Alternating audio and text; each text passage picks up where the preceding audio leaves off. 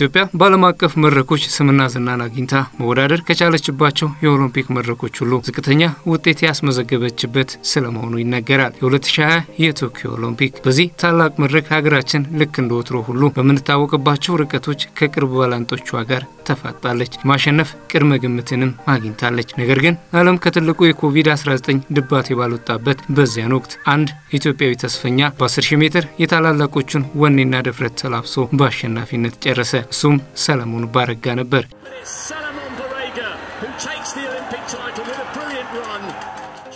የቶኪዮ ኦሎምፒክ ያው ምናልባት መጀመሪያም ኦሎምፒክ ነበረና በጣም አሪፍ training ነበር።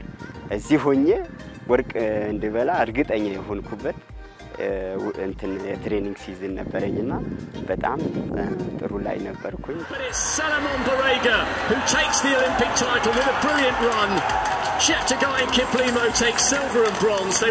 ይህንን ታላቅ ድል በኦሎምፒክ መድረክ ያሳካው አትሌት ሰለሞን የአትሌቲክስ ሕይወቱ ጅማሮ ከትምህርት ቤት መሆኑን ይናገራል። በተለያዩ የውድድር መድረኮች ታላላቆቹ አትሌቶች ገድል ሲሰሩ ሲመለከት በስፖርቱ ፍቅር ተለክፎ የእነሱን ፈለግ ተከትሏል። ስፖርቱ ከገባ በኋላ እንደዚህ ዓለም ሻምፒዮናዎች ምናምን ሲኖሩ ወደ 45 ደቂቃ ምናምን የሚሆን በእግሬ ተጉዤ አይ ነበረ ቴሌቪዥን በጥሩነሽ የቀነኒሳ መሰረት ውድድር ዓለም ሻምፒዮናዎች ካየሁኝ በኋላ ቀነኒሳ ያለበት ውድድር ስጋት አይገባህም እንደሚያሸንፍ እርግጠኛ የምትሆንበት ልጅ ነውና በጣም የቀነኒሳ አድናቂ ነው። ሰሎሞን ዲሲፕሊን ነው። በቃ እኔ ደስ ይለኛል፣ በጣም አድንቀዋለሁ። ሰሎሞን ከአትሌቶች ያው ሰሎሞን እና ሀጎስ ገብረ ሕይወት ናቸው የሚቀርበው እኔ የሚቀርባቸው በጣም ዲሲፕሊናቸው በጣም የተለዩ ናቸው። የስፖርት ስነ ምግባርን ሁሉ ያሟላት ነው።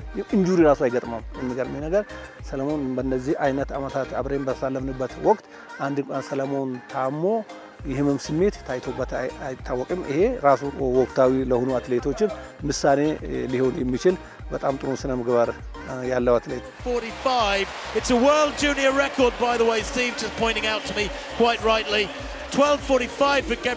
multi የምንላቸው አትሌቶች አሉ። multi ታች ሞርዶ መካከል ላይም ረጅም አሁን ሰለሞን ሶስት ሺህ መሮጥ ይችላል። አምስት ሺህ አስር ሺህ ሀያ አንድ ድረስ cross country ስምንት ኪሎ ሜትር ሁሉንም መሮጥ ይችላል እና ይሄ ምንድነው አንደኛ ተሰጥኦ ነው፣ ሁለተኛ በስልጠና የሚመጣ quality ነው። ሩጫ ላይ ወጣ ገባ ትላለ እንጂ speed ም አለው endurance ም አለው። ያው ጥሩ እንትን ስትሆን አሁን በውድድር ላይ በጣም ጥሩ ስትሆን ያው አብረህ ተጋግዘህ ትሄዳለህ።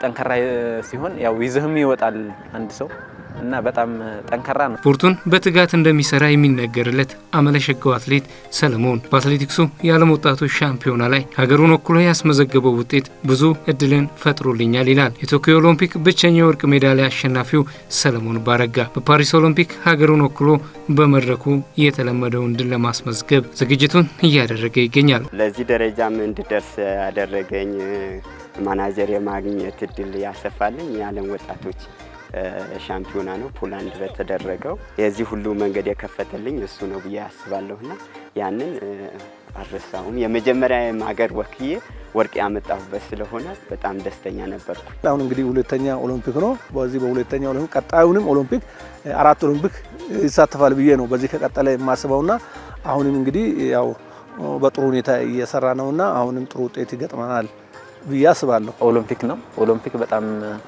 ጥሩ ዘንድሮ ያው ይሄ እንደዚህ እንደዚህ ብለህ ባትገምትም ግን በጣም ጥሩ ይመጣል ብዬ አስባለሁ።